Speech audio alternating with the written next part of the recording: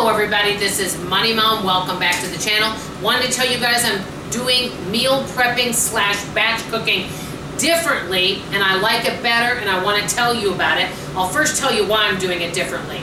There for a while, they were not scheduling me on Sundays doing product demonstrations. Well, lately, it's been really busy. You guys know I do product demos on the weekends. I absolutely love it. I love the store staff and I love the customers. That being said, it's hard to spend a whole day cooking. So what I'm doing instead is I'm doing my batch cooking. I'm actually taking a few things I want to make and cooking them each day. What I like about this better is it was really exhausting doing everything in one day. It would take basically the whole day.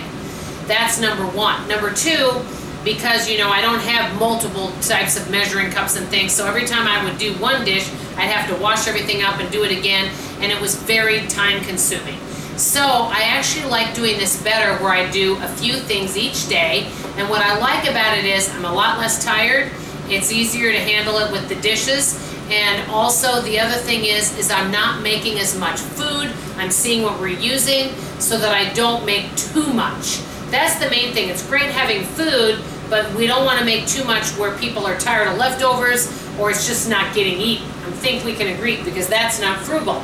So a few things I wrote down and I wanted to show you a couple things. I'm going to link the recipes below. And I will say this, if I find any recipe, because I'm subscribed to a lot of cooking channels, that I really love, that was not hard to make, and is fairly frugal, I'm going to tell you guys about it and I'll link the link below and give that you know, recipe or give the, the channel credit for that because these recipes that I'm telling you about today are not from me. So I want to make sure to give credit where credit is due. And I'll put the link in the name of the channel where I got it. So a few of the things I'll be making this week is salmon, stew, tortilla soup, homemade pizza, and the one thing I made here and I got from another channel, John Wayne's casserole. I made zucchini bread for the first time. Never made it. Here's my hint for zucchini bread, guys. Turned out great, super moist. I've been told you're supposed to drain the water from the zucchini. I'm going to say from my experience, um, I would not drain it. The reason why is, yes, the zucchini has a lot of moisture, but it adds a lot of moisture to the bread, and it makes it moist and really good. And I will say it turned out fantastic. I also made some cinnamon sugar butter cookies. Um, and I am going to be making, uh, I never can pronounce this, quinoa. I may have pronounced that wrong because I've got all these leftover tomatoes and pesto and things and broth that I'm going to put in there so that I utilize those. I have some uh, beans that I'll be making, potatoes, mixed veggies, uh, chia pudding. Uh, I made homemade waffles. Um, also, I'm going to make keto French toast and chaffles. And I'll let you know if I come up with any good chaffle recipe. Uh, that's a waffle without bread. A lot of times it's made with cheese and egg. And I made a breakfast casserole.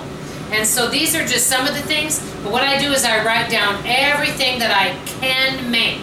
And then I choose the things I want to make and then X them off and I do a few a day. So I'm going to show you real quickly and I'll link the recipe below. It's from Allrecipes. And I made this delicious homemade zucchini bread, and I made that. And I have more zucchini, so I'm going to make my friend, she said her favorite cookies are zucchini cookies. So I'm going to make her those. She doesn't know about it yet. And then I made this delicious John Wayne casserole. The YouTuber, her name, first name I know is Julie or Julia. And I'm going to link the channel below. If you go visit them, tell them Money Mom sent you. John Wayne casserole. And it is so good. I'm going to tell you this. The bottom has Bisquick, but if you don't want bread, you don't have to put it. So part of this pan has Bisquick on the bottom, the other part doesn't. Then you take ground beef, you brown it up, and you put, um, you know, some type of, uh, you know, tomatoes in there if you want. You can put salsa in there, you can put chilies, rotel, and then corn, and you mix all that up, you drain the corn, and then you put taco seasoning, and then you lay that on top of the Bisquick. Then you also, you take this chive and onion cream cheese, you mix it with a little mayonnaise and some spices, spread that on top, and then cheese on top. I'll link it below, but I tasted one teeny bite. It's really good, and you could make it low carb. So I'm doing meal plan differently, and I'm going to start doing maybe one cooking video a month on this channel. I'm going to pick up something simple and easy and delicious, but I want to make sure that it's an original recipe from me. So that's all I have to say. Let me know what you guys think of my new way of doing batch cooking, and let me know what you're cooking this week. That's all for now, and check out those recipes below if interested. Love you. Bye.